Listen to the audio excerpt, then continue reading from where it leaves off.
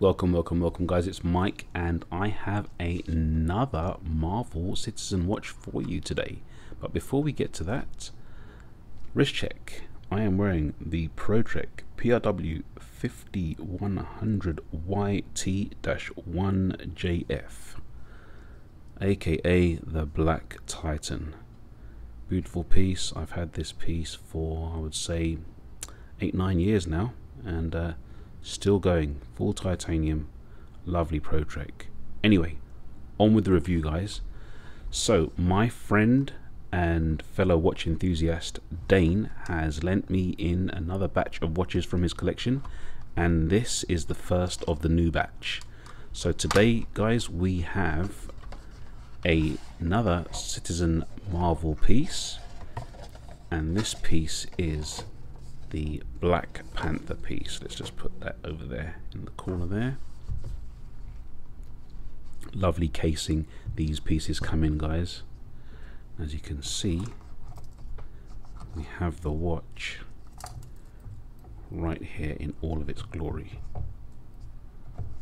Let's get uh, that in there and we'll place the box in the display so here we have it guys. This is the Citizen Chrono and it's obviously an Eco Drive. Model number CA0297-52W, the Black Panther edition. I do have the hang tag here. Um, so as you can see there, there's the model number 695, that is Canadian and it's a Black Panther. Um, it says it's water resistant to 200 meters there, and you've got your 12 24 um, hour chronograph with your um, stainless steel and it's IP coated. So there's some small details for you there. This is going to be a quick review, guys, because it's very much like the Spider-Man that Dayne has that I reviewed last week. So same dimensions, 44 mm case size with a height of 11.2 mm.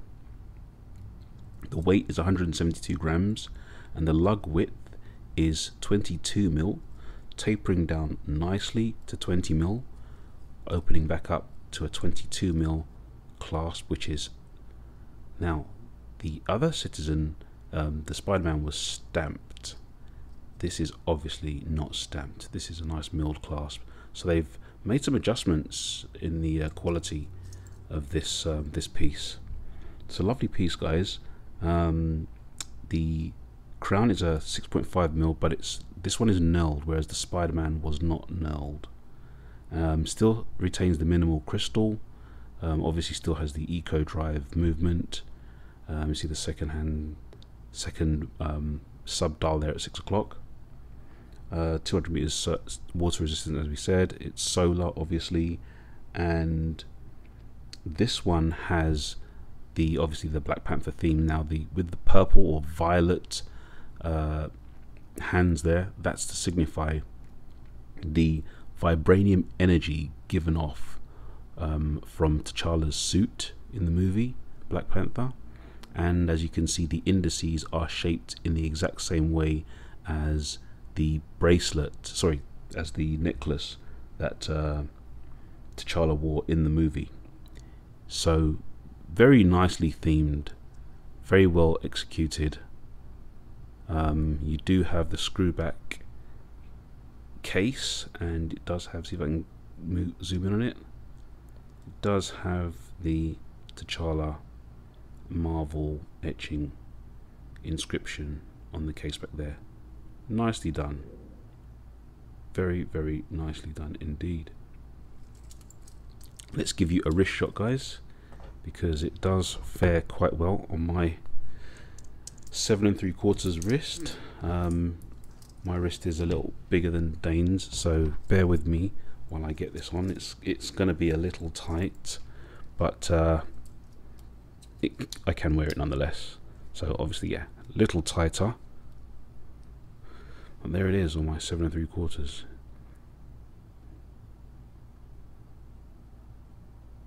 Nice. Feels very nice on wrist. very comfortable. And not a fingerprint magnet like um, the Spider-Man, obviously because this is IP coated and it's got that matte kind of finish on the bracelet and the casing. So a little bit easier in the fingerprint department. Let's get the watch off and give you a lume shot guys because you know it does have some lume Um, I don't know if it has a lot but uh, we're going to find out together. See how these indices work in this in the lume in the in the dark. Right, let's turn the lights. Put it up up here. We'll turn the lights out.